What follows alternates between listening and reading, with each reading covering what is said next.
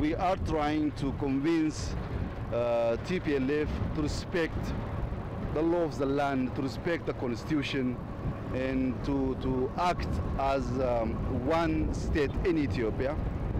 If they could understand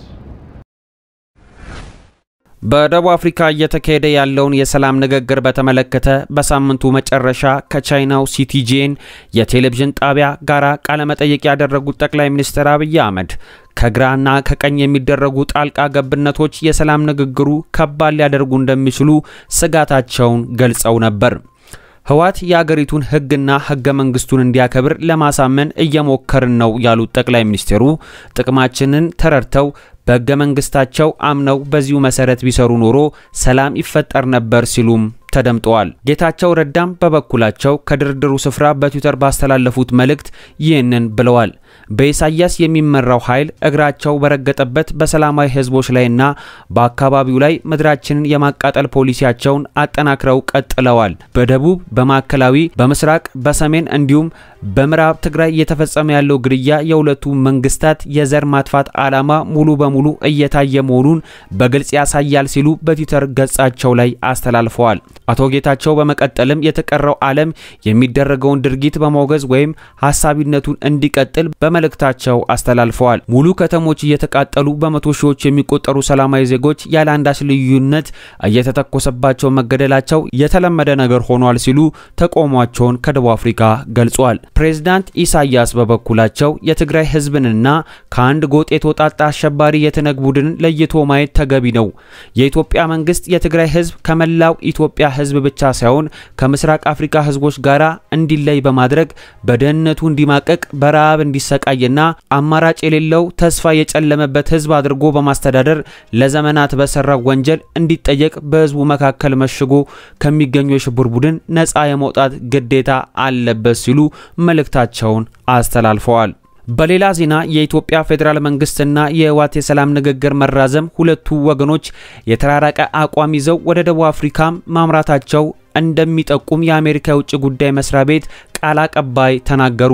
ቃል አቀባዩ ኔድ ፕራይስ በአፍሪካ ህብረት መሪነት የሚካሄደው የሰላም ንግግር የኢትዮጵያ ፌዴራል መንግስትና ህወሓት ልዩነታቸው የሚወያዩበትና በመካከላቸው ያለው ርቀት ማጥበብ እንደሚቀጥሉበት እንደሚሆን ተስፋ እናደርጋለንም ብለዋል። ቃል አቀባዩ ይህንን ያሉት ስምንተኛ ቀኑን ስላስቆጠረው የኢትዮጵያ መንግስትና የህወሓት የሰላም ንግግር በተመለከተ ከጋዜጠኞች ለቀረበላቸው ጥያቄ ትናንት ምሽት በሰጡት መግለጫ ላይ ነው። ባለፈው ሳምንት ማክሰኞ የተጀመረው የሰላም ንግግር እስከ እሁድ ጥቅምት 20 እንደሚቆይ የደቡብ አፍሪካ መንግስት አስታውቆ የነበረ ቢሆንም ንግግሩ እስከ ትናንትና ምሽት መቀጠሉን ከቦታው የወጡ ዘገባዎች አመልክቷል። በፕሪቶሪያ ከተማ እየተካሄደ ለሚገኘው ለዚሁ የሰላም ንግግር የተቀመጠ የቀነ ገደብ እንደሌለ የአፍሪካ ህብረት ኮሚሽን ሊቀመንበር ቃል አቀባይ ኤባ ካሎንዶ ትናንት ለፈረንሳይ ዜና አገልግሎት ተናግረዋል። በንግግሩም ላይ በተሳታፊነትና በታዛቢነት እየተካፈሉ የሚገኙ የአፍሪካ ቀንድ ልዩ ልዑክ ማይክ ሀመርም ንግግሩ እስከሚያበቃበት ዕለት ድረስ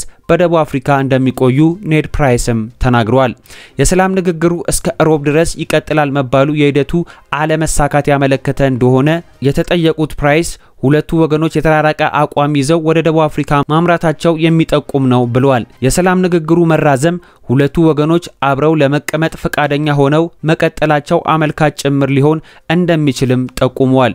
የደቡብ አፍሪካ ውይይት የኢትዮጵያ ፌዴራል መንግስትና ህወሓት ልዩነታቸውን የሚወያዩበትና በመካከላቸው ያለውን ርቀት ማጥበብ የሚቀጥሉበት እንደሚሆን ተስፋ እናደርጋለን ሲሉም ሀገራቸው በሰላሙ ንግግሩ የምትጠብቀውን አመልክቷል። ፕራይስ በትናንትና ዕለታዊ ጋዜጣ መግለጫቸው በኢትዮጵያ ተፋላሚ ወገኖች መካከል የሚደረገው የሰላም ንግግር አራት ግቦች እንዳሉት አስረድተዋል።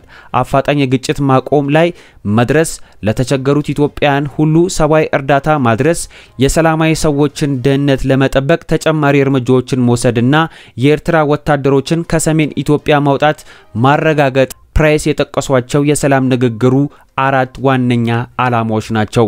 በደቡብ አፍሪካ እየተካሄደ የሚገኘው የሰላም ንግግር ሁለቱ ወገኖች ልዩነታቸውን ለማጥበብ እና ለአራቱ ግቦች ስኬት መልካም ዕድል እንደሆነ ቃል አቀባዩ ጠቅሰዋል። ከነገ በስቲያ ሐሙስ ጥቅምት 24 2015 ዓ ም ሁለተኛ ዓመቱን የሚደፍነው የሰሜን ኢትዮጵያ ጦርነት የሰብአዊ መብቶች ጥሰትና ግፎች መፈጸማቸው ያጋለጠው በርካታ ታማኒ ሪፖርቶች መኖራቸው በጋዜጣዊ መግለጫቸው ያስታወሱት የአሜሪካ የውጭ ጉዳይ መስሪያ ቤት ቃል አቀባይ የሰላማዊ ሰዎችን ደህንነት መጠበቅ እንዲሁም አንገብጋቢ ጉዳይ እንደሆነም ጠቅሰዋል።